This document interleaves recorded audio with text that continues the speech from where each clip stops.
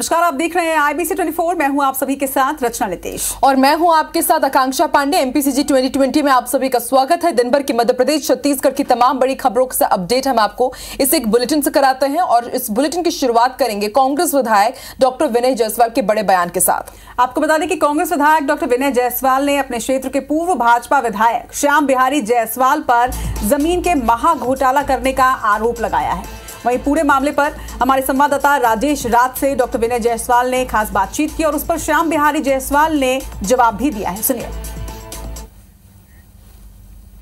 नमस्कार, मैं हूँ राजेश राज और आईबीसी 24 में आपका बहुत स्वागत है। कांग्रेस के विधायक हैं डॉक्टर विनय जायसवाल जी और इन्होंने आज बड़ा खुलासा किया, बल्कि बहुत संगीन, बहुत बड़ा आरोप लगाया और आरोप यह है कि बीजेपी के पूर्व विधायक डॉक्टर श्याम बिहारी जायसवाल ने 100 एकड़ ज़मीन का फर्जीवाड़ा किया। चुनाव से पहले का धमाका कहें? देखिए, चुनाव के पहले तो और बड़े धमाके होंगे। अभी तो इन्होंने गरीब आदिवासियों के, ट्राइबल के खास करके राष्ट्रपति के जो सुरक्षित ट्राइबल्स हैं, बैगा जातियों के ज़मीन को हड़पने का काम किया है, उसको निगलने का काम किया है। और आ, बड़ा फर्जीवाड़ा जो श्याम बिर जायसवाल ने पूर्व के विधायक भारतीय जनता पार्टी के इनके नेताओं के संरक्षण में किया है। पति और पत्नी के नाम से 100 एकड़ की ज़मीन है प्रॉपर्टी है इनके नाम से जो विधायक रहते इन्होंने अर्जित की है। कब अर्जित की है? ये कार्यकाल रमन सिंह के कार्यकाल में रमन सिंह के कार्यकाल में सौ एकड़ की ज़मीन अर्जित की है। वो भी मेरे पास केवल पाँच पंचायतों का ये वो है रिकॉर्ड है। और अभी तो जो मनेनगढ़ विधानसभा में टोटल इक्यावन सरकार तो आपकी है और चूँकि आपने सीएम से शिकायत की है तो माने कि ये सरकार रहते ही ये जो कार्यकाल आपका चार पाँच महीनों बाद में ही पूरा हो रहा है उसके पहले ये सब मामलों की जाँच हो जाएगी और दूध का दूध पा निश्चित रूप से मैं तो जाँच में मांग किया हूँ और ये जो पट्टा को तत्काल निरस्ती करने के लिए मैंने बोला है। तो आंकड़ा कहा जाएगा? चलिए हम भी इंतज़ार करते हैं कि आंकड़ा सामने आए लेकिन एक बहुत गंभीर और बड़ा आरोप कांग्रेस के विधायक विनय जायसवाल जी ने लगाया है। कैमरा पर्सन किशोर के साथ राजेश राज, आईबीसी 24 रायपुर। प्रतिशत किसी प्रकार का वनाधिकार पत्र मेरी माता, पत्नी या परिवार को नहीं मिला है। यदि इनके कथनानुसार कोई भ्रष्टाचार इसमें हुआ है, कोई गलत तरीके से बना है तो ये क्षेत्र के विधायक हैं। प्रेस में जाने की क्या आवश्यकता है, इसको ये जाँच कराते। ये जाँच कराकर उस पर पट्टे को निरस्त कराते। यदि कोई फर्जीवाड़ा हुआ है तो उसमें कानूनी कार्रवाई कराते एफ़ कराते। वहीं मध्य प्रदेश की ब्यूरोक्रेसी को लेकर कमलनाथ ने आज बेहद बड़ा बयान दिया। पूर्व सीएम कमलनाथ ने कहा कि अफसरों को बदलना ज़रूरी हो गया था क्योंकि हमारे सामने सिस्टम को बदलने की चुनौती थी। क्या कुछ उन्होंने कहा? सुनवाते हैं आपको। तो व्यवस्था में एडमिनिस्ट्रेशन में परिवर्तन रहा था पर मुझे नहीं पता था हमारी सरकार चल जाए सौदे से सरकार गई मैं भी सौदा पर मैं पहचान मध्य प्रदेश की सौदे की राजनीति से नहीं बनाना चाहता था मैं कुर्सी सौदे से बैठना चाहता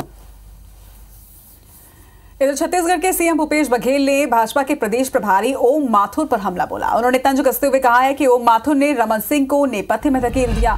उन्हें इस तरह का अपमान नहीं करना चाहिए था। वहीं मुख्यमंत्री ने यह भी कहा कि भाजपा के पास छत्तीसगढ़ में कोई चेहरा नहीं है। ओम माथुर जी, अपनी चिंता करें। कितने प्रभारी बदल चुके?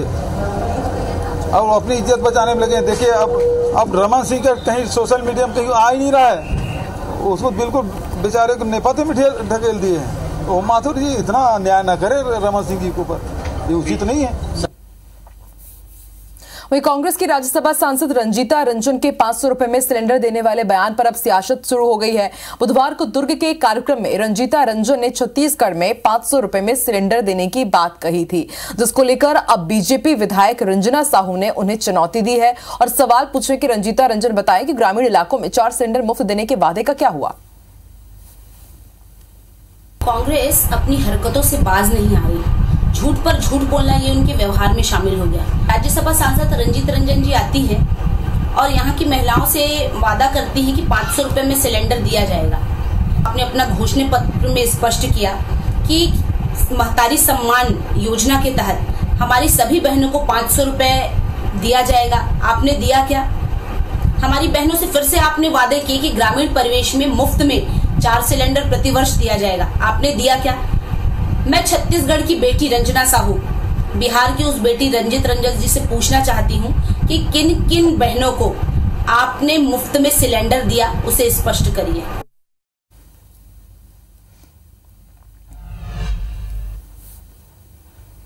इधर भोपाल कांग्रेस कार्यालय में मध्य प्रदेश कांग्रेस नगर ग्राम रक्षा समिति के प्रांतीय सम्मेलन का आयोजन किया गया, जहाँ पर कमलनाथ शामिल हुए। आपको बता दें कि कमलनाथ ने कहा है कि आज मध्य प्रदेश में गाँव से लेकर मंत्रालय तक भ्रष्टाचार है। 18 साल बाद शिवराज सरकार सिंह को बहने याद आ रही हैं, वही किसान याद आ रहे हैं। वही सुभाषचंद्र यादव का कहना है कि सरकार बनने पर कांग्रेस अपने सभी वादे पूरे करेगी। देखिए, बेहद बड़ी खबर आपको बता दें, छत्तीसगढ़ में पटवारियों की हड़ताल आखिरकार स्थगित कर दी गई है। सीएम भूपेश बघेल से अब पटवारी संघ मुलाकात करेगा। पटवारी संघ के अध्यक्ष भागवत कश्यप का यह बयान है। जो नेता की समस्या को देखते हुए उन्होंने अपनी हड़ताल स्थगित की है। तो 25 दिनों से भी ज़्यादा वक्त गुजर चुका था। छत्तीसगढ़ के पटवारी लगातार हड़ताल कर रहे थे कई सूत्रीय मांगों के साथ और इसी बीच सीएम भूपेश बघेल ने भी यहाँ पर तल्ख रवैया अपनाया और उसके बाद एस्मा भी लागू किया गया और अब ये बड़ी खबर इस वक्त की हम आपको बता रहे हैं कि अब ये हड़ताल स्थगित हो गई है। जो प्रदेश अध्यक्ष है पटवारी संघ के, उनका कहना है कि जनता की समस्याओं को देखते हुए हमने ये फैसला लिया है और पटवारी संघ अब सीएम भूपेश बघेल से भी मुलाकात करेगा। तो आम जनता को सबसे ज़्यादा परेशान होना पड़ रहा था क्योंकि पटवारियों से जुड़े हुए सभी कार्य बंद थे। हालाँकि कुछ ज़रूर रियायतें दी गई थी आम जनता को। कि वो काम जो पटवारियों के थ्रू होते हैं, वो अभी फ़िलहाल नहीं किए जाएँगे। वैकल्पिक व्यवस्थाएँ की गई, लेकिन उसके बाद अब ये बड़ा फैसला लिया है पटवारी संघ की तरफ़ से। राजेश राज हमारे साथ जुड़ चुके हैं। राजेश, एक बड़ी खबर, पटवारियों की हड़ताल तो स्थगित हो गई है, लेकिन अब आगे उनका अगला कदम क्या रहेगा? देखिए ये गतिरोध खत्म हुआ है क्योंकि वो शुरू से पहले ही से कह रहे थे कि इस मसले पे वो मुख्यमंत्री से मिलना चाह रहे हैं। एक बार मुख्यमंत्री से मिल करके अपनी बात को रख दे। उसके बाद भले ही कोई मांग मानी ना जाए या आश्वासन न मिले वो अपनी हड़ताल खत्म कर लेंगे। दो बार राजस्व सचिव के साथ उनकी मुलाकात हुई और उसके बाद आज कांग्रेस के कुछ नेताओं से बातचीत हुई थी। कुछ मंत्रियों के संपर्क में भी थे पटवारी संघ के पदाधिकारी और उन्हें एक आश्वासन मिला है कि मुख्यमंत्री से उनकी मुलाकात कराई जाएगी। कांग्रेस के संचार विभाग के प्रमुख ने भी बातचीत की थी उसमें, और उन सबकी बातचीत का नतीजे का असर है कि पटवारी इस बात में सहमत हो गए हैं। कि वो अपनी एक तीस दिन पुरानी आ, एक महीने से ज़्यादा उनका हड़ताल हो गया था निश्चितकालीन हड़ताल का। वो उसे वापस आ रहे हैं उन्होंने घोषणा कर दी है और उन्हें आश्वासन मिला है कि उनकी मुलाकात मुख्यमंत्री से कराई जाएगी और इसी आश्वासन पे उन्होंने अपनी स्ट्राइक कॉल ऑफ़ की है। जी। शुक्रिया पूरी जानकारी के लिए राजेश। देखते हैं अब आगे पटवारी संघ क्या करते हैं और इस मुलाकात के बाद क्या कोई बीच का रास्ता निकलता है। मोदी सरकार के 9 साल की उपलब्धियों को गिनाने के लिए बीजेपी का महाजनसंपर्क अभियान जारी है। आपको बता दें कि मोदी सरकार की उपलब्धियों को जन जन तक पहुँचाने के लिए लगातार केंद्रीय नेताओं का दौरा भी हो रहा है और इसी क्रम में 22 जून को केंद्रीय गृह मंत्री अमित शाह दुर्ग में आमसभा को संबोधित करेंगे। वहीं तीस जून को बीजेपी के राष्ट्रीय अध्यक्ष जेपी नड्डा बिलासपुर दौरा करेंगे। इधर एक जुलाई को केंद्रीय गृह मंत्री राजनाथ सिंह का कांकेर दौरा होगा। राजनाथ सिंह भी महाजनसंपर्क अभियान के तहत ही ये दौरा कर रहे हैं।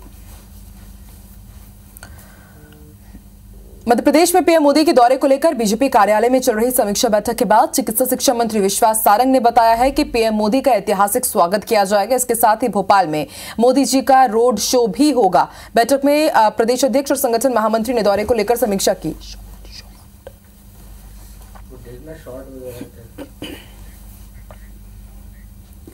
बात करें छत्तीसगढ़ भाजपा प्रदेश अध्यक्ष अरुण साव की तो विधानसभा चुनाव की तैयारियों की जानकारी देते हुए उन्होंने बताया कि विधानसभा चुनाव के लिए भाजपा महाजनसंपर्क अभियान अभी जारी है और जल्द ही भाजपा अपनी घोषणा पत्र कमेटी का गठन भी कर देगी। जनसंपर्क अभियान के तहत देश में इक्यावन बड़ी सभाएँ होनी है, जिसमें से दो सभा अमित शाह और जेपी नड्डा की होगी। इसके अलावा राजनाथ सिंह की भी कांकेर में सभा प्रस्तावित है।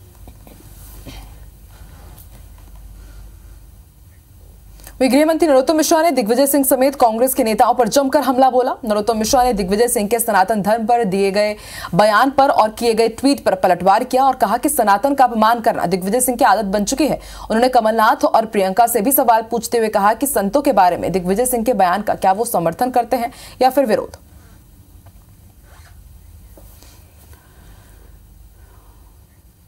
शहीद वीर नारायण सिंह की जन्मस्थली सोनाखान से 9 जून को निकली भारतीय जनता पार्टी की पुरखौती सम्मान यात्रा का गुरुवार को रायपुर के जयस्तंभ चौक पर समापन हुआ।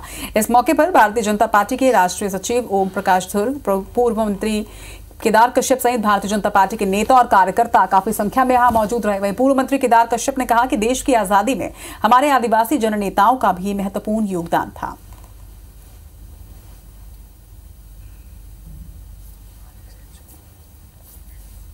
मध्य प्रदेश कांग्रेस दिग्विजय सिंह की रिपोर्ट के आधार पर प्रदेश की छियासठ सीटों पर टिकट का फैसला करेगी। पूर्व मंत्री और प्रदेश कांग्रेस के वरिष्ठ नेता सज्जन सिंह वर्मा ने कहा कि कांग्रेस में किसी तरह की कोई गुटबाजी या फिर तनातनी नहीं है। सज्जन सिंह वर्मा ने भोपाल के इतिहास को लेकर कवि मनोज मुंतशिर की टिप्पणी पर ऐतराज जताया। सज्जन सिंह वर्मा ने कहा कि मनोज मुंतशिर बीजेपी की गोद में बैठकर इतिहास और संस्कृति से छेड़छाड़ करने की कोशिश कर रहे हैं। वहीं प्रधानमंत्री नरेंद्र मोदी के पिता को लेकर अरुण यादव की टिप्पणी को उन्होंने जुमला बताया और इस टिप्पणी को सहज प्रतिक्रिया बताते नज़र आए।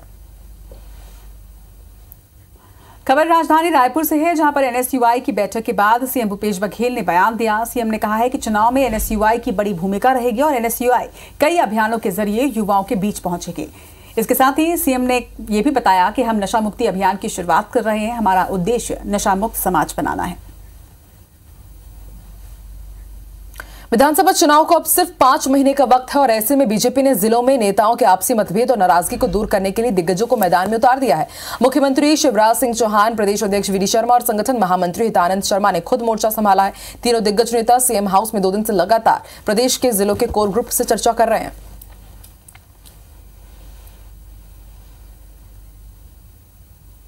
दमोह के गंगा जमुना स्कूल के बाद अब एक और स्कूल, अलफला यूनिक नाम का स्कूल विवादों में घिर गया है, जिसको लेकर बाल आयोग ने जाँच के आदेश जारी कर दिए हैं। शहर के नूरी नगर में संचालित इस स्कूल ने बिना मान्यता के ही बाकायदा पोस्टर और विज्ञापन भी जारी किए थे। हालाँकि इन विज्ञापनों और पोस्टरों के सामने आने के बाद अलफला यूनिक स्कूल की जाँच के लिए डीईओ ने एक कमेटी गठित कर दी है, और जल्द ही इसकी भी रिपोर्ट सामने होगी।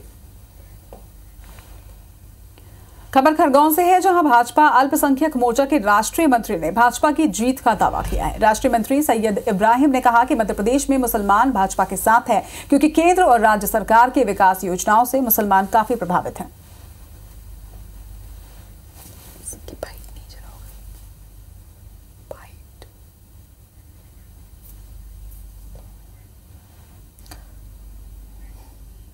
खबर रायपुर से है, जहाँ आज मेयर एंड काउंसिल की बैठक हुई और इस बैठक में रायपुर में स्थित वीआईपी रोड का नाम बदलने का निर्णय लिया गया। अब वीआईपी रोड का नाम स्वर्गीय राजीव गांधी मार्ग होगा और इसके बाद अब जोरदार सियासत भी हो रही है।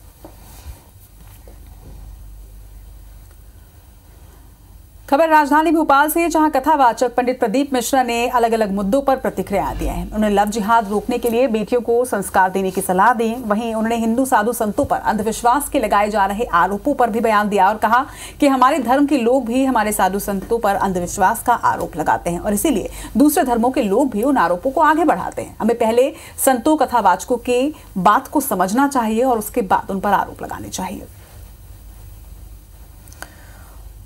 बिलासपुर में आज मितानिनों ने सीएमएचओ कार्यालय का घेराव किया और इस दौरान छह सूत्रीय मांगों को लेकर मितानिनों ने जमकर नारेबाजी की। कोटा विकासखंड के मितानिन प्रदर्शन में शामिल रहे। प्रदर्शनकारी मितानिनों ने बताया कि विभाग की तरफ़ से उनसे अलग अलग कई कार्य कराए जा रहे हैं, लेकिन इसके बाद भी उन्हें समय पर राशि का भुगतान नहीं किया जा रहा है और इस कारण उन्होंने प्रदर्शन किया।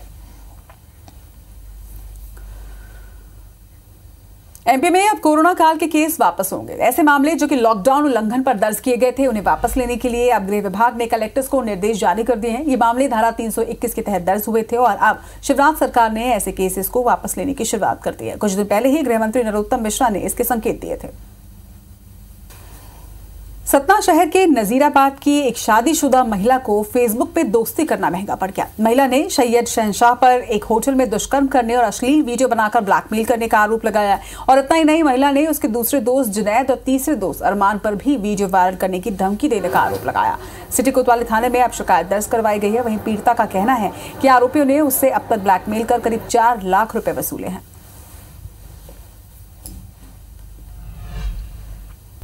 पन्ना ज़िले का हीरा जीआई टैग के रूप में भी जाना जाएगा। एनएमडीसी की ओर से संचालित एकमात्र मशीन युक्त खदान जी पन्ना ज़िले में है। आपको बता दें कि ज़िले में उत्पादित हीरे को विशिष्ट पहचान दिलाने के लिए कलेक्टर संजय मिश्रा ने पिछले दिनों चेन्नई में जीआई ई रजिस्ट्री का आवेदन दिया था। जीआई टैग मिलने की पुष्टि के साथ ही अब अंतर्राष्ट्रीय स्तर पर भी पन्ने का हीरा चमक के साथ दुनिया में अपनी अमीर छाप छोड़ेगा। भारतीय विश्वविद्यालय दुर्ग में advances in multi disciplinary research and applications विषय पर दो दिवसीय अंतर्राष्ट्रीय संगोष्ठी का आयोजन की शुरुआत गुरुवार से हुई है और अंतर्राष्ट्रीय संगोष्ठी के कुल चार प्रवाहों पर जानकारी दी जाएगी, जिसमें पहले प्रवाह में विज्ञान इंजीनियरिंग के शोधार्थी अपने शोध पत्र प्रस्तुत करेंगे। दूसरे प्रवाह में विधि, प्रबंधन, समाज विज्ञान और कला के शोधार्थी। तीसरे प्रवाह में स्वास्थ्य विज्ञान, फार्मेसी के शोधार्थी और चौथे प्रवाह में कंप्यूटर विज्ञान के शोधार्थी अपने शोध पत्र प्रस्तुत करेंगे। इस आयोजन में दो सौ अड़तालीस शोध पत्र जापान, सूडान, चीन आदि देशों के अलावा भारत के अलग अलग राज्यों से प्राप्त हुए हैं। संगोष्ठी में शिक्षकों का सम्मान भी किया गया। ये उत्तम विचार है विश्वविद्यालय प्रशासन का, जिसमें यहाँ के बच्चों के लिए जो पीजी प्रोग्राम कर रहे हैं और पीएचडी प्रोग्राम कर रहे हैं उनके लिए एक अनूठा अवसर होगा जब वो मल्टी डिसिप्लिन अप्रोच करके और रिसर्च करेंगे uh, I want to thank everyone who has uh, invited us for uh, for this program here for conference uh, on on multidisciplinary research, and we are we are very glad and happy to be here in this university and in this place here uh, to, to attend this conference. इससे छत्तीसगढ़ में शिक्षा का प्रचार प्रसार बहुत अच्छे से होगा और इसमें जो बच्चे जो आज पीएचडी का डिग्री लेने के लिए जो रिसर्च करते हैं उसमें सभी को इसका लाभ मिलेगा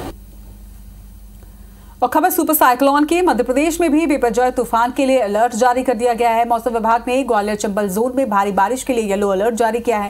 हालाँकि मध्य प्रदेश में गुजरात की तरह तूफ़ान का असर नज़र नहीं आएगा मगर आज देर रात शुक्रवार तक विपर्जय का सामान्य असर यहाँ पर ज़रूर नज़र आएगा। आपको बता दें कि तूफ़ान थमने के बाद ही मध्य प्रदेश में मानसून की दस्तक होगी। और इसी के साथ एमपीसीजी 2020 में आज के लिए इतना ही। देश और दुनिया की तमाम बड़ी खबरों के लिए आप देखते रहिए आईबीसी 24 नमस्कार, नमस्कार।